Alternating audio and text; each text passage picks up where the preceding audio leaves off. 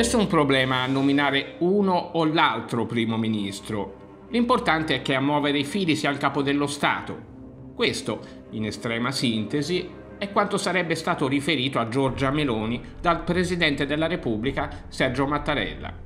Sarà lui a decidere chi dovrà guidare ministeri chiave come quello dell'economia e, chissà, forse anche la Farnesina. A riferire degli incontri riservati fra Giorgia Meloni e il presidente Mattarella è stato il Fatto Quotidiano che, non smentito dal Quirinale, ha scritto che gli incontri sarebbero avvenuti nel mese di agosto. È doveroso ricordare che in occasione delle elezioni del 2018 il presidente Mattarella pose il veto alla nomina di Paolo Savona a capo del Ministero dell'Economia, a conferma che da una parte vi sono le regole cosiddette democratiche e dall'altra c'è chi impartisce ordini per conto di qualcun altro. La democrazia sulla carta è una cosa seria, ma è rimasta incompiuta e, al massimo, permette di scegliere, a cose normali, quanti lampioni impiantare per il 5G e quali gli alberi ad alto fusto siano adatti per essere tagliati.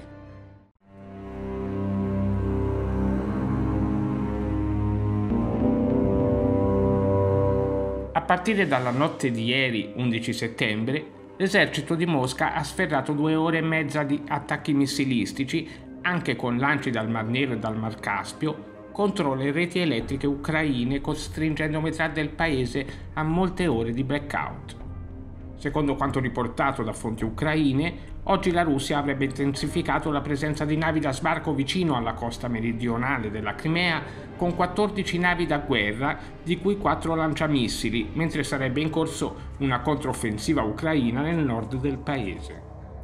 La regione di Kharkov sarebbe sostanzialmente occupata da personale militare non ucraino, bensì anglofono potrebbero essere gli uomini della compagnia di contractors occidentali, che ormai sarebbero dispiegati a migliaia. Le trattative diplomatiche sono ormai dunque un miraggio.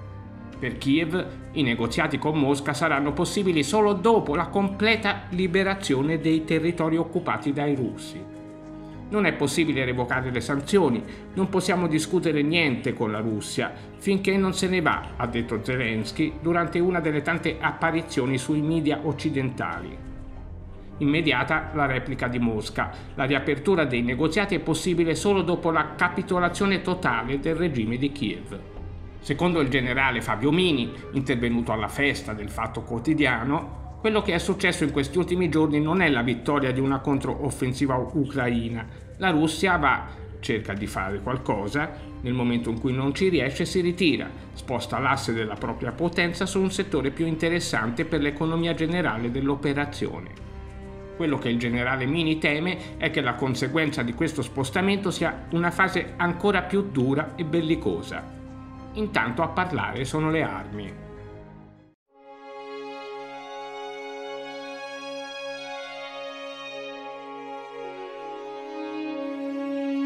A partire da ottobre il petrolio saudita sarà più economico per i paesi europei ed asiatici, ma più caro per gli Stati Uniti.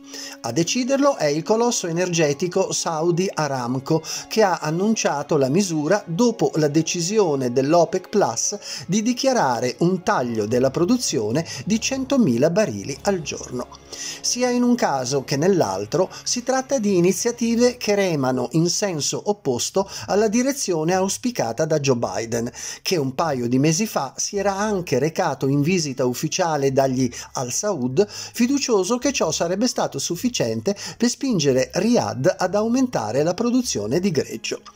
Il principe Abdulaziz bin Salman però ha deciso di non badare alle parole dell'alleato occidentale, cosciente che i mercati energetici globali si trovano attualmente parole sue, in uno stato di schizofrenia.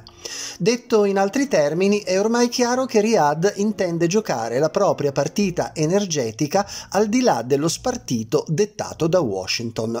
Non a caso l'Arabia Saudita è tra i prossimi candidati ad entrare nei BRICS, blocco economico che si contrappone apertamente all'egemonia statunitense e di cui fanno parte Cina e Russia. E così mentre ad ottobre il prezzo del greggio saudita sarà scontato di 4 dollari al barile per le raffinerie asiatiche e di 2 per quelle europee, la maggior parte dei clienti statunitensi dovrà invece pagare 50 centesimi in più di prima per ricevere la stessa quantità di petrolio. E chissà se anche a Washington, come già succede a Bruxelles, a qualcuno sta già frullando per la testa l'idea di risolvere il problema imponendo un nuovo price cap.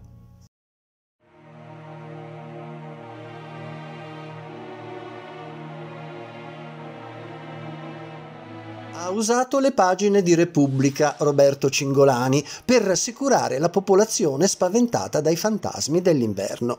Il ministro della transizione ecologica ha detto che i razionamenti probabilmente non serviranno. L'importante per Cingolani è spingere sull'acceleratore dei rigassificatori. Solo così l'Italia sarà libera dal gas russo e potrà finalmente comprare quello più caro e più inquinante che arriva da oltreoceano. A Bruxelles però non sembrano far caso a quanto dice il governo italiano. La Commissione anzi sembra prepararsi al peggio. Il piano dell'esecutivo comunitario per far fronte all'emergenza energetica prevede infatti di installare nelle case degli europei i cosiddetti contatori intelligenti, capaci cioè di attivarsi e disattivarsi da remoto e di allontanare quindi il controllo della temperatura dai capricci estemporanei di chi la bolletta comunque la paga. Che il razionamento a distanza fosse già una realtà tecnologica non era un mistero. La novità, semmai, è che il suo possibile uso come strumento di risparmio energetico sia stata messa nero su bianco nella bozza del governo comunitario. Come sia possibile nei fatti implementare una misura di questo tipo non è ancora chiaro, un po' come avveniva per il divieto di assembramenti domestici durante la dichiarata pandemia. La Commissione però, serva da consolazione, staccherà la spina alle famiglie solo come extrema razio. Prima cercherà probabilmente di convincerle della bontà del freddo invernale e di quanto stare al gelo sia di gran utilità per difendere la libertà degli ucraini.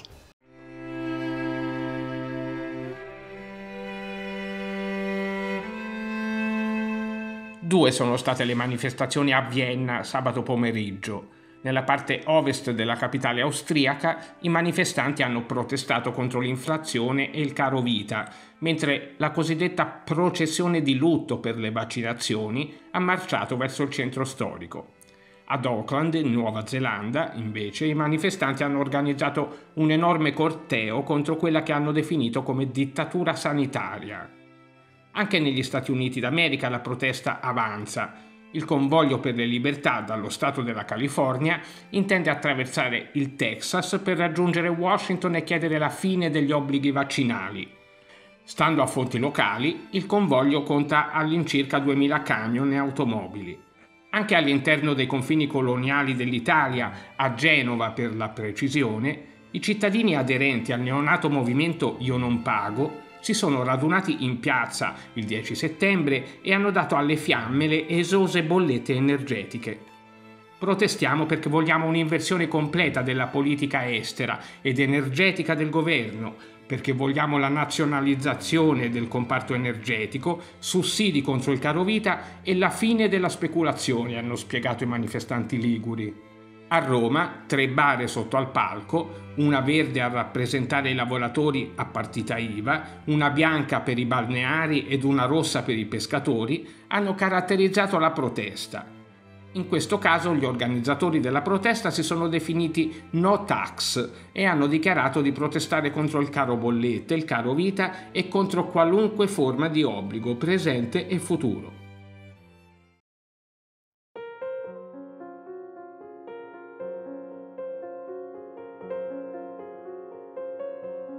Non avendo il sostegno della popolazione, il governo ha bisogno dell'esercito. Questa è l'accusa lanciata dall'opposizione all'esecutivo dello Sri Lanka e al presidente Ranil Wickremesinghe, arrivato al potere a luglio nel bel mezzo di una crisi economica che ha portato il paese sull'orlo del baratro.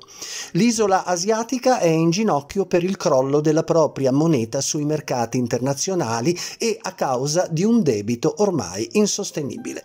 Uno scenario che però non ha portato il governo a rinunciare a comprare armi, anzi, questo capitolo di spesa pubblica copre da solo quasi il 20% delle risorse impiegate dall'esecutivo, nonostante siano passati 13 anni dalla fine della guerra civile contro la minoranza tamil. Sono proprio i rappresentanti di questa etnia a denunciare le ansie belliche del governo in un momento in cui la tenuta sociale del paese è a rischio, con buona parte della popolazione che vive in un regime di razionamento di cibo e benzina. Secondo i membri del partito All Ceylon Tamil Congress, di nemici adesso come adesso non ce n'è neanche l'ombra, eppure l'esecutivo ha addirittura deciso di aumentare la spesa militare. Una scelta che per l'opposizione sarebbe dettata proprio dalla necessità di mantenere il controllo su una popolazione ormai allo stremo e che quest'anno ha già dato prova di saper come mettere a ferro e fuoco le residenze dei governanti.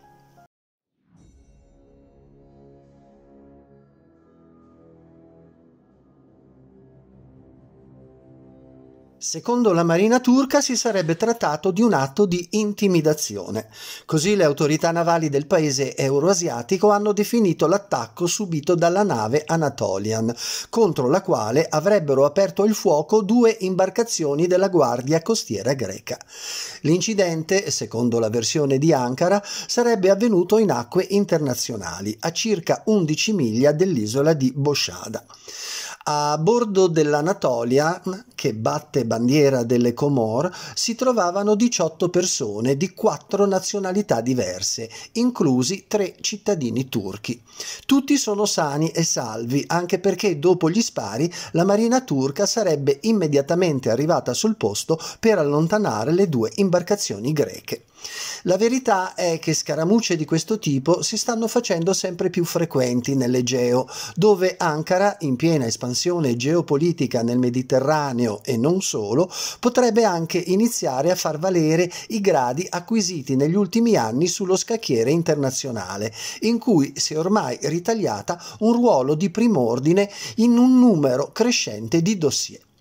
La Turchia è in questo senso un vicino sempre più scomodo per la Grecia, timorosa oggi più che mai di perdere il controllo delle isole elleniche che si trovano ad un tiro di schioppo dalle coste dell'Anatolia.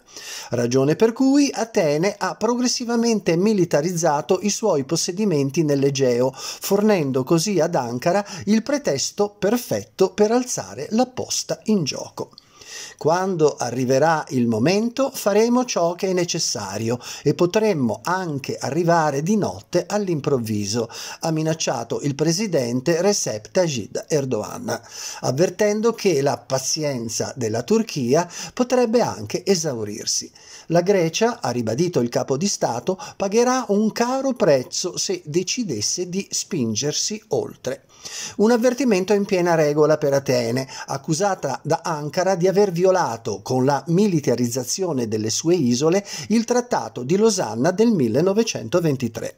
Una scelta forse obbligata per la Grecia, che di fronte all'ingombrante espansionismo del suo vicino potrebbe anche giocarsi la carta della provocazione per costringerlo a commettere un passo falso e ad irritarsi a quel punto sarebbero gli Stati Uniti, sempre più in difficoltà a far restare assieme i pezzi del puzzle della Nato.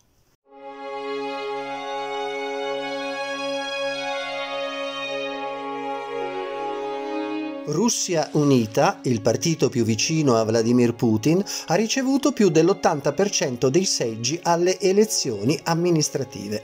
Tenutesi dal 9 all'11 settembre hanno interessato 82 regioni russe e prevedevano l'elezione di 14 governatori, 6 deputati delle assemblee legislative e 12 consigli comunali. Al voto hanno partecipato anche i cittadini russi evacuati dal Donbass e dall'Ucraina. Per la formazione politica di governo il risultato evidenzierebbe un trend leggermente in aumento rispetto alle elezioni politiche della Duma di Stato del 2021, sebbene l'affluenza alle urne nella maggior parte delle regioni sia stata inferiore rispetto alle elezioni precedenti.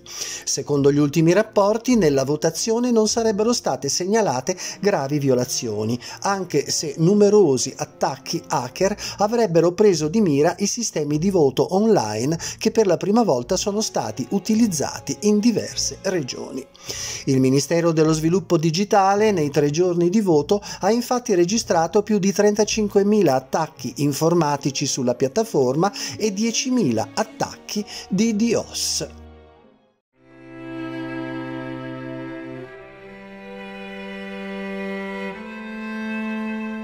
Dopo due anni di trattative e sporadici scontri, l'India e la Cina hanno iniziato a ritirare le truppe dalla linea di confine. Durante il sedicesimo round di colloqui militari ad alto livello, le due parti hanno concordato il ritiro dei soldati dall'area di Gograk Hot Springs, nella valle del fiume Changchenmo, tra le catene montuose del Karakorum e dell'Himalaya. Entrambi i paesi si erano accusati l'un l'altro di cercare di impossessarsi del territorio lungo la linea non ufficiale di confine, ma qualcosa ora è evidentemente cambiato. Nel frattempo, casualmente, gli Stati Uniti hanno programmato dal 18 al 31 ottobre di effettuare delle esercitazioni militari congiunte con l'India, proprio lungo il confine nello stato indiano di Uttarakhand, il maggiore Jonathan Lewis, portavoce del comando dell'esercito statunitense nel Pacifico, ha fatto sapere che il programma dell'esercitazione di quest'anno si concentrerà sul combattimento ad alta quota e si svolgerà nella regione di Auli, ad una altitudine superiore a 3.000 metri e a meno di 100 km dalla linea di controllo.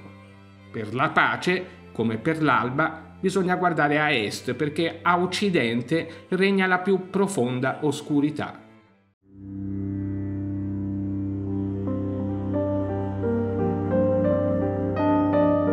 Hanno per lo più fra i 15 e i 30 anni e i media liberaloni li definiscono farris, pelosi in lingua italiana. Siccome al peggio non vi è mai fine, sappiate che ci sono anche i rettili che vengono definiti scaly, scaglie in italiano, e i volatili avian. La relativamente neodevianza non si è ancora diffusa così largamente in Italia, ma nei paesi anglofoni le convention dei Faris sono partecipate quanto i parchi divertimento della Disney. A rendere triste la storia c'è che sia dall'Australia che dagli Stati Uniti si moltiplicano le segnalazioni di studenti di scuole primarie e secondarie che da un giorno all'altro hanno iniziato a camminare a quattro zampe, hanno smesso di parlare e hanno cominciato ad esprimersi come gatti, conigli, cani, rettili e quant'altro. Il quotidiano australiano Herald Sun, il 22 agosto scorso, ha riportato il caso di un bambino definito dalla scuola come incredibilmente brillante, a cui è stato permesso di assumere l'identità di un gatto, secondo ciò che la neocultura dell'interscambiabilità dei generi definisce subcultura furry, già adottata da diversi circoli di adolescenti. All'inizio di quest'anno, nel Michigan, Stati Uniti, una scuola è stata costretta a smentire le affermazioni di aver messo a disposizione una lettiera per i bambini che si identificavano come gatti. Un genitore, giustamente preoccupato, aveva denunciato il caso in un consiglio di classe dei genitori. Altri casi di studentesse, in una scuola privata del Brisbane in Australia, hanno riadattato la loro divisa scolastica per la coda e, camminando sulle ginocchia, si sono trasformate in volpi e gatti. Dal mondo scientifico, psicologi e psichiatri statunitensi ed australiani si sono detti non sorpresi dalla tendenza dei giovani a identificarsi come versioni romantiche degli animali, come dire tutto regolare. Lo psicologo adolescenziale australiano Michael Carl Craig ha detto di non essere preoccupato in quanto in tanti anni di carriera avrebbe incontrato un solo caso di persona transanimale. Tuttavia, il dottore ha poi aggiunto che una volta rimossi i fattori di stress dalla vita del giovane, il ragazzo dovrebbe tornare a identificarsi come un essere umano. Stress e pensare che non siamo ancora ufficialmente in guerra. Secondo il sito web di Furry Far Science, tre quarti di coloro che adottano le sembianze di animale hanno meno di 25 anni. Nel frattempo, però, in Italia è allarme tra i giovanissimi. Negli ultimi due anni i tentativi di suicidio sono aumentati del 75%. Nel fu bel paese ogni 16 ore una persona si toglie la vita. Ho fiducia nei giovani, ripeteva spesso il presidente Sandro Pertini, ma il transumanesimo faceva ancora parte della sfera fantascientifica. A questo punto la frase restiamo umani assume significati sicuramente più profondi.